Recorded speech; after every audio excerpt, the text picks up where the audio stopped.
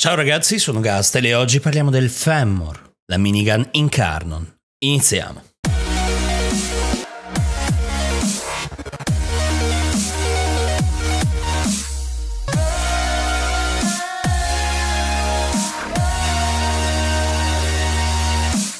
Secondo round per queste armi in car, non abbiamo parlato della Lightroom, è il momento di parlare del Femmor, il nuovo fucile di precisione che poi diventa una minigun ed è assolutamente devastante. Per chi ha già visto il video sulla Lightroom, probabilmente alcuni passaggi saranno simili o addirittura uguali, ma visto che si tratta di armi nuove non solo come data di uscita ma anche come tipologia, Beh, ripetita Juvent. In ogni caso, se non avete visto il video della Lightroom, vi metto il link in descrizione. E a proposito, consigli per gli acquisti. Se non siete ancora iscritti, iscrivetevi al canale, attivate la campanella per essere sempre aggiornati sui nuovi contenuti, seguitemi sui social, iscrivetevi al Discord e ogni martedì sera ci vediamo live su Twitch. Per ottenere quest'arma dovremmo aver completato la quest degli Angeli della Zariman e aver accesso quindi a Cavaliero della fazione degli Olfast. Se non l'avete ancora conclusa sappiate che tutto ciò che seguirà è pieno di spoiler direi che possiamo proseguire. Possiamo ottenere lo schema del Femmor da cavaliero al secondo grado degli Olfast, quindi testimone, per 6.000 punti di reputazione. Al contrario della Lightum, questa ci richiederà un po' di lavoro. In primo luogo dovremo arrivare al secondo grado e non basta un bel sorriso, ci vogliono 15.000 punti di reputazione. Poi ce ne vogliono altri 6.000 per acquistare lo schema e infine ci vogliono 15 Void Plum Remigante, 20 Void Plum Calamo e 15 Lanterna Entrati.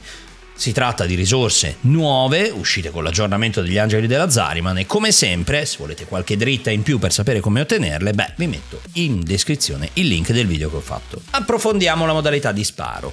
Nella sua modalità standard il fuoco di quest'arma è simile al semiautomatico dello Zenith stesso ratio di fuoco, ricarica un po' più lenta, un terzo del caricatore e naturalmente non abbiamo quello splendido attraversamento infinito che contraddistingue lo Zenith. In ogni caso abbiamo 3 metri di attraversamento, che è comunque ottimo. Il colpo infligge danno da taglio e da perforazione, dove il primo doppia abbondantemente il secondo. Come sempre, per attivare la modalità in Carnon, abbiamo una sfida da superare, uccidere 100 nemici. Una volta conclusa e attivato il perk da cavaliero, possiamo scoprire il vero potenziale di quest'arma, la modalità in Carnon. Al centro del mirino abbiamo una barra simile a quelle che vediamo per il Trumna o per il Sepulcrum, o per la Lightroom se l'abbiamo già costruita. Effettuando colpi anche non consecutivi alla testa dei nemici, andiamo a caricarla. Consiglio un colore di energia abbastanza chiaro così lo vediamo subito a che punto stiamo della carica. La carica non si basa esattamente sui colpi alla testa, ma anche sul multishot. Ogni colpo alla testa aggiunge 34 cariche e con 12 colpi abbiamo riempito il caricatore, quindi naturalmente più multishot più in fretta raggiungiamo il massimale. In aggiunta, come suggerito da Nightmare Frame, se avete Magus Lockdown riuscite a fare i colpi a testa con una facilità davvero imbarazzante e senza bisogno di usare trucchi strani o di essere bravi a mirare. In ogni caso non è necessario che la carica sia completa per attivare l'incarnon. Se premiamo il tasto del fuoco alternativo su PC il centrale del mouse, l'arma si trasforma con una breve animazione e abbiamo a disposizione un Gatling che personalmente ho apprezzato davvero parecchio. L'animazione dura esattamente come la ricarica, quindi 2,8 secondi. È un po' tantino, quindi possiamo o velocizzare la procedura utilizzando mod di ricarica o gli arcane funzionano anche sull'animazione, o sfruttare qualche piccolo gimmick come rotolare o passare in operatore. In ogni caso, con la modalità Incarnon cambia il tipo di danno, passiamo da taglio perforazione a taglio radiazione, sempre comunque con priorità al taglio. E cambia anche la tipologia di sparo, che passa da semi-automatico ad automatico. Piccola nota, diventa una minigun al contrario. Solitamente per le armi come il Tenoro o il Gorgon, ad esempio, siamo abituati ad un ratio di fuoco che aumenta più teniamo premuto lo sparo, fino al punto in cui poi si stabilizza. Qui è l'esatto opposto, i primi colpi saranno rapidi e poi caleranno sempre di più fino a stabilizzarsi, immagino per evitare di passare la giornata col dito sul mouse. Una peculiarità della modalità in Carnon è che non funziona con un caricatore, ma più con una specie di batteria, che è quella barra che vediamo sotto il mirino, che si scaricherà man mano che spariamo. Mi ripeterò, ma personalmente continuo a non apprezzare troppo questa meccanica, anche se ormai ci sto prendendo l'occhio. Se spariamo una raffica non vedremo la barra calare, ma la vedremo diventare più alta e solo quando ci fermiamo tutto il blocco alto sparirà di botto. Il caricatore in Carnon ha circa 400 colpi, ma anche se si tratta di un bel caricatore, consiglio di non sprecarli in giro. Perché? Principalmente perché l'arma è devastante anche solo riuscendo a mettere qualche colpo a segno su un nemico, nonostante il livello. Una volta finita la carica in Carnon, o disattivandola manualmente con il tasto centrale, l'arma tornerà nuovamente come prima. Importante, se la spegnete prima della fine della carica, in ogni caso dovrete ricominciare da capo la carica, non verrà mantenuta la carica residua ma andiamo ad approfondire il potere in Carnon e le 5 sfide con le conseguenti abilità che abbiamo a disposizione. La prima sfida è abbattere 100 nemici. Equipaggiate l'arma e fate una missione, direi che il resto venga da sé. Completata la sfida, dobbiamo tornare sulla Chrysalit, parlare con Cavalero, aprire il menu Evolvi le armi in Carnon e potremo attivare il perk e quindi la modalità in Carnon dell'arma. La seconda sfida richiede di abbattere 8 Eximus con un colpo trasmutato del nostro Femmor. In Santuario Elite ci sono tutti gli Eximus che ci servono. Se poi avete la fortuna di trovare un'incursione con Roccaforte Eximus, beh, anche meglio. In ogni caso, a questo punto possiamo scegliere tra tre perk diversi. Tranquilli, non è una scelta definitiva, possiamo sempre modificarla in un secondo momento, ma ci toccherà ritornare da Cavaliero. In questo caso i perk sono Void Guidance, 50% di precisione e 50% di rinculo in meno mentre miriamo, Rapid Vrat, 20% di rato di fuoco in più, Swift Deliverance, 80% di velocità del proiettile. La precisione dell'arma non è un gran problema, ma il rinculo può essere fastidioso. Inoltre, per usare la mod stabilizer dobbiamo ripolarizzare l'Eximus, quindi sì, questo perk può essere una buona idea. Rapid Vrat, ratio di fuoco, di cosa parliamo? Il ratio di fuoco è sempre un vantaggio all'interno di Warframe, vuol dire che mettiamo più colpi a segno in meno tempo, quindi facciamo più danno. Per quanto riguarda Swift Deliverance, in questo caso si può evitare, anche perché se appunto lasciate la polarizzazione dell'Exilus esattamente com'è, Terminal Velocity ci darà il 60%, che non è l'80 ma è comunque buono. In generale questo selettore di perk è veramente a gusto personale e varia in base al gameplay di ognuno. Io personalmente mi trovo più comodo col primo perk, ma è una questione di punti di vista. La terza sfida richiederà di colpire alla testa un angelo del Void con 8 colpi senza ricaricare. Consiglio uno sterminio e una difesa mobile così da poter fare tutto con molta calma e magari un warframe invisibile così da agire ancora più indisturbati. Ultimo dettaglio, non dovete né abbatterlo né fare colpi consecutivi, quindi è molto più semplice di quanto non sembri. In questo caso i tre perk influenzano principalmente la modalità non in carnon dell'arma. Retribution Vessel, 50% di capienza del caricatore in più. Redirectilation, quando ricarichiamo alla fine del caricatore abbiamo il 100% di velocità di ricarica per 6 secondi. E Executioner Fortune, sui colpi alla testa, sull'uccisione su colpi alla testa, il 20% di probabilità di ricarica istantanea. In tutta onestà, la modalità non in Carnon dell'arma non è così efficace e devastante come quella in Carnon, quindi credo che possiamo muoverci serenamente sul primo perk e passare al prossimo grado. Al massimo, se proprio avete voglia di giocare a Sniper Elite, potete optare per l'ultimo perk. Quest'arma ha un'inaspettata predisposizione per chi vuole giocare solo di colpi alla testa, anche se non credo che Warframe sia il gioco più adatto.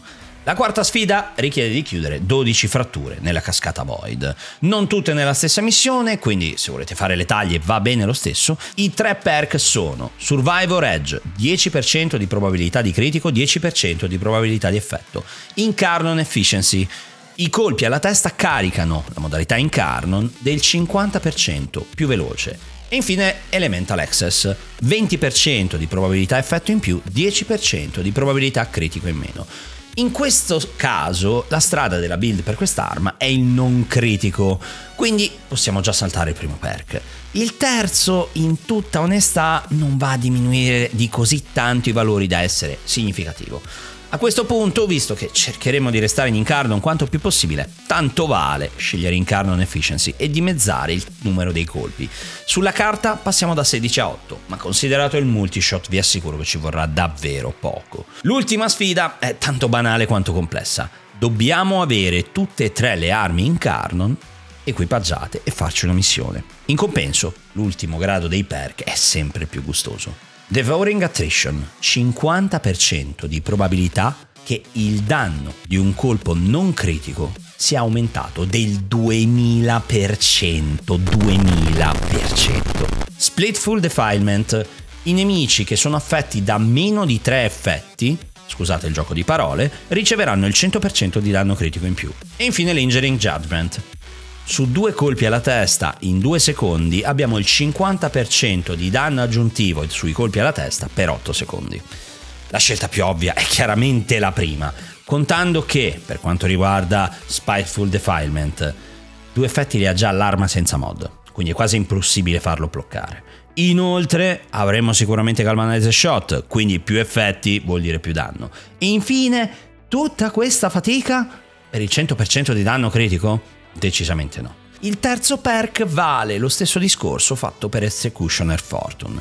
Warframe non è un gioco da cecchini. In più, 2 secondi sono pochi, 8 secondi sono pochi, il 50% è poco.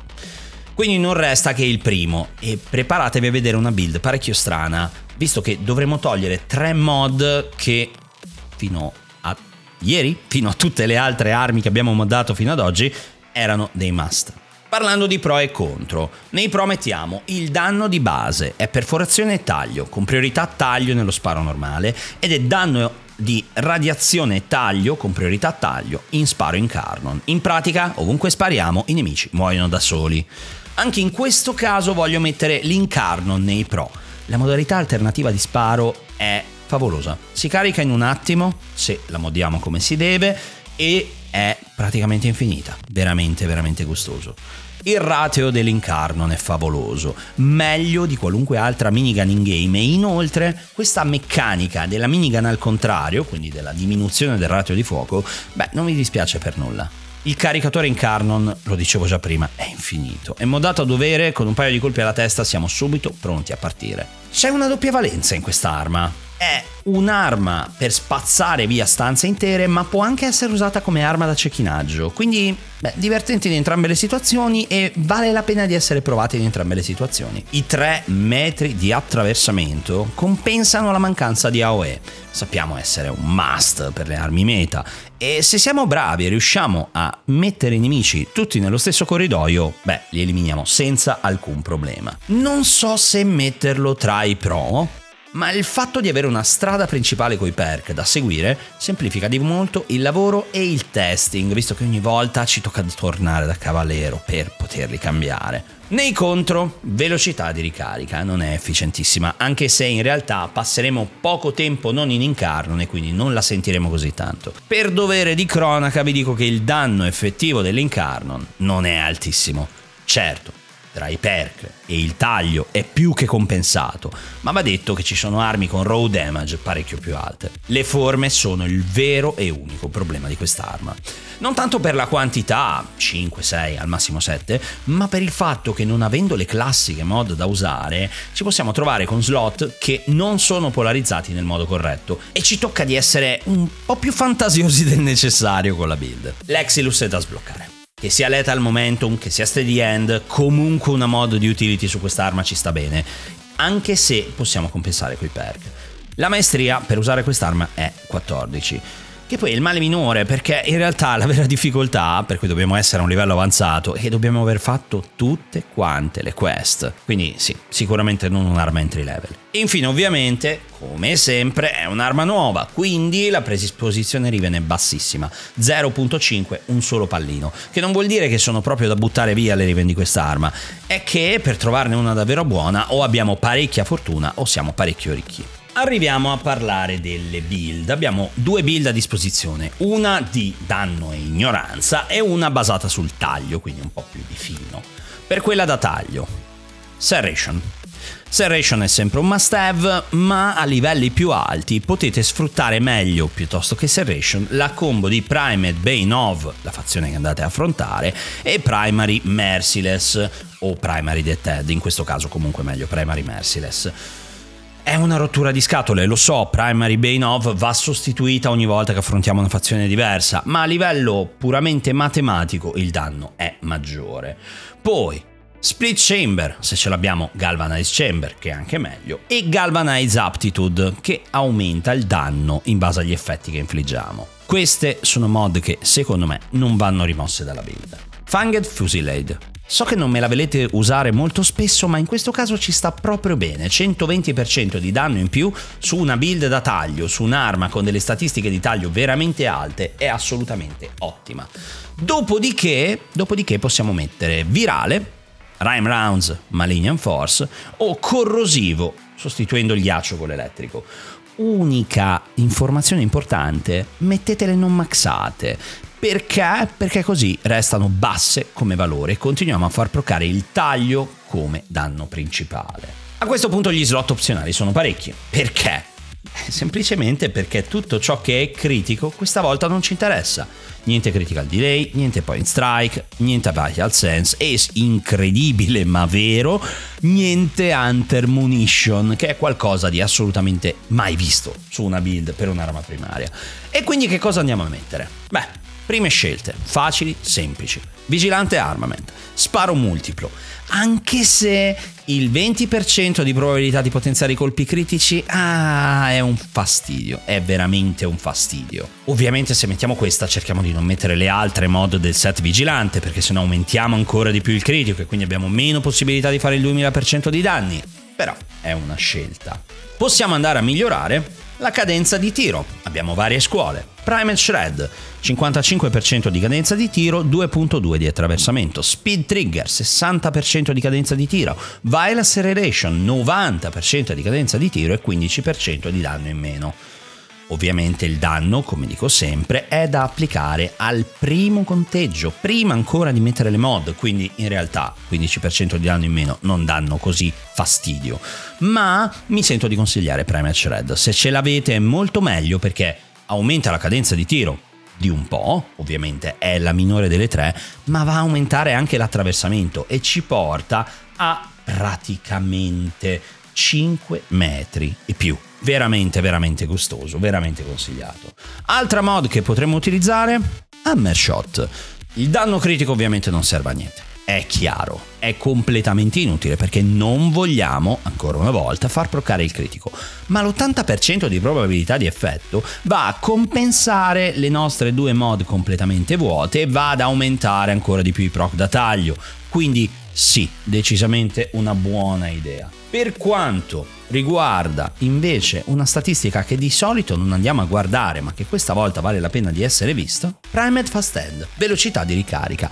Eh già, perché? Perché anche la trasformazione in Incarnon è regolata dalla velocità di ricarica. Quindi mettere un Primed Fast End può non essere una scelta così stupida. Migliora di molto il nostro quality of life a livello di gameplay. Sì, può essere una buona idea. Per quanto riguarda l'Exilus, terminal velocity o stabilizer. Dipende dalla polarizzazione, se la vogliamo cambiare o meno, e dipende dal perk che abbiamo scelto in base a quello che scegliamo, uno o l'altro. Per quanto riguarda gli arcane, Primary Merciless è il nostro must have per tutte le build da taglio. Perché? Perché The Ted semplicemente funziona se uccidiamo il nemico col colpo alla testa di precisione e non lo faremo, lo uccideranno i proc da taglio. Quindi Primary Merciless. Dopo l'uccisione 30% danno 4 secondi con 12 stack, velocità di ricarica, ottimo per quest'arma, munizioni massime, ottimo per quest'arma. Le altre non penso valgano la pena neanche di essere guardate con attenzione. The Ted, se volete usarla come primer perché ci sono primer migliori. Magari se volete usare principalmente la colpo a corpo e questa la usate solo in particolari circostanze. Sì, in calcio d'angolo. Fractalized Reset, vabbè, all'attivazione di un'abilità 240% di velocità di ricarica. Sì, ma non ci interessa perché usiamo la modalità Incarnon. Per quanto riguarda la build invece di puro danno, sempre Galvanized Chamber, sempre Primed Bainov, sempre Galvanized Aptitude, Primed Shred ormai ha trovato il suo posto e non si schioda da qui, andiamo a mettere semplicemente dei danni puri sulla nostra arma. Quindi tossina e elettrico per fare il corrosivo, sì perché mi porto il Panzer Vulpafilia, e fuoco così andiamo a diminuire un po' l'armatura. L'ultimo slot personalmente apprezzo tanta velocità. Avrei voluto metterci vai l'acceleration, ma le polarizzazioni non me lo permettono, quindi speed trigger andrà più che bene. Per quanto riguarda gli arcane, vista la tipologia di arma, vista la tipologia di danni, possiamo usare un Death Questa volta dovremmo riuscire a ucciderli con i nostri colpi e non con il proc da taglio. E vi assicuro che con questa build riusciamo a distruggere i nemici di Steel Path fino a livello 200 senza alcuna difficoltà. Quindi il Femmor, veramente favoloso. Ragazzi, usare quest'arma mi dà tantissima soddisfazione e soprattutto nella modalità di raw damage pura ignoranza. Mi sento come in un film degli anni 80 d'azione, come se fossi Schwarzenegger o Stallone con un fucile mitragliatore in mano. Sì, è veramente soddisfacente. Anche perché senza troppa fatica e senza troppo impegno facciamo una build molto molto semplice che distrugge i nemici fino a livello 200. Assolutamente da provare. Fidatevi di me, provate quest'arma e poi scrivetemi nei commenti come vi trovate. Spero come sempre che il video vi sia piaciuto e che contenga informazioni utili e interessanti. Se il video vi è piaciuto come sempre mettete like, iscrivetevi al canale, attivate la campanella per essere sempre aggiornati sui nuovi contenuti, seguitemi sui social, iscrivetevi al Discord ogni martedì sera, ci vediamo live su Twitch. Ciao!